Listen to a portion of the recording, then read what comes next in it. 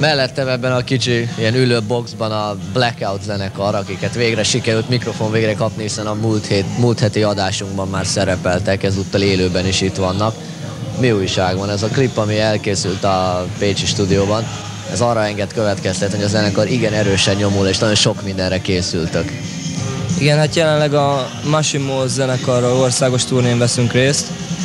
Hát sajnos épp most egy baleset következtében, ami épp ma történt, Massimo énekesével sajnos felfüggesztődött ez a koncert ugye három hétre körülbelül.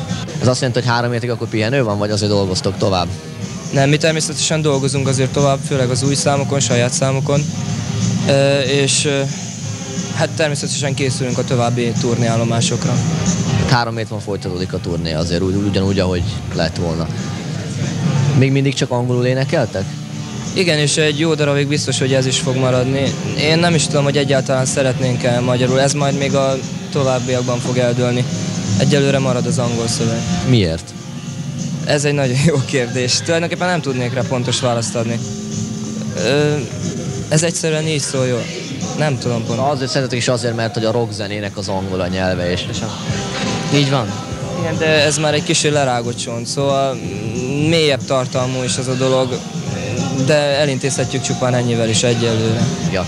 Szóval maradjunk tovább is a zenekarnál. Miken, mi a turné megy tovább, az rendben van, próbáltok, van-e valamilyen olyan kilátásatok, hogy esetleg valamilyen menedzser felkarolná a zenekart? Egyéb lehetőséget? Nem tudunk egyelőre, örülünk, hogy egyelőre próbáltunk a Masi Múzeum próbatermébe. Próbálunk összeállítani egy jó tágas műsort, feldolgozásokkal és saját számokkal bőven kibővíteni, és akkor majd klubozni akarunk a az ország minden területén rengeteg ilyen klub alakult, és ott elég jó hangulatokat lehet csinálni. A nevetekből itt vagy Blackout, meg egy kicsit az imageből is egy van egy olyan érzésem, mint ha ismernétek azt a bizonyos Love Hate nevű amerikai zenekart. Igen. Gondolom most nem arra akarok kiöködni, hogy őket utánozzatok, de hogy valamilyen, valamilyen zenei világotok, a zenei világotok valamennyire közel áll az övékéhez ezek szerint. Igen, így van. Nagyon kedvencünk, mondhatjuk azt, hogy egyik kedvencén közé tartozik. Aki ismeri a Love zenekart, és esetleg majd megismeri a Blackout zenekart, az azért a különbséget észre fogja. Ez a utánzásról szó sincs.